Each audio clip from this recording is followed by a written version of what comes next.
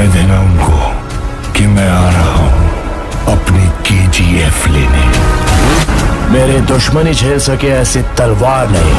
तो दोस्तों, इस वक्त K G F chapter two box office पर कई सारे रिकॉर्ड तोड़ती जा रही है। लेकिन जब हम के जी एफ़ चैप्टर टू देखने गए थे तो उस फ़िल्म को देखने के बाद हमें एक बड़ा सरप्राइज़ क्या मिला? के जी एफ़ चैप्टर टू के बाद अब के जी एफ़ चैप्टर थ्री भी आएगी। तो अब जब से लोगों को यह पता चला है कि के जी एफ़ थ्री भी आने वाली है, तब से आप में से बहुत सारे लोगों के कमेंट्स आ रहे हैं कि आखिर के जी एफ़ चैप्टर थ्री किस दिन रिलीज़ होगी।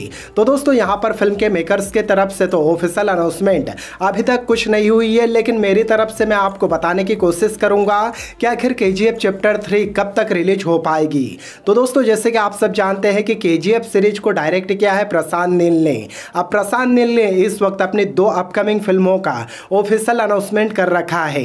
जी हाँ दोस्तों के के बाद प्रशांत नील की अगली फ़िल्म होगी सलार जो कि प्रभास के साथ वो बना रहे हैं। तो दोस्तों सलार फ़िल्म की शूटिंग अभी तक लगभग साठ परसेंट बाकी है, जो कि 2022 खत्म होने तक होती रहेगी। जाएगी और 2023 में जाकर सलार को रिलीज़ किया जाएगा। अब सलार फ़िल्म जैसे ही खत्म होगी, उसके बाद प्रशांत नील अपने अगली फ़िल्म की शूटिंग करेंगे, जो कि है एनटीआर के साथ में। जी हाँ दोस्तों, एन टी जिस फ़िल्म को प्रशांत नील डायरेक्ट करेंगे, इस फ़िल्म की शूटिंग 2023 से शुरू होगी और फ़िल्म 2024 में खत्म हो जाएगी। तो दोस्तों, यहाँ पे 2024 में के चैप्टर थ्री की शूटिंग प्रशांत नील अगर चालू करते हैं तो फ़िल्म को बनने में मिनिमम एक साल का समय लगेगा। यानी कि दोस्तों, कम से कम यहाँ पर केजीएफ चैप्टर थ्री को रिलीज़ होने में 2025 आ जाएगा। जी हाँ दोस्तों, आपने बिल्कुल सही सुना, यहाँ पर मिनिमम तीन साल से पहले केजीएफ चैप्टर थ्री नहीं आ सकती है। किसी भी हालत में अगर केजीएफ चैप्टर थ्री आती है तो 2025 या 2026 में ही आएगी।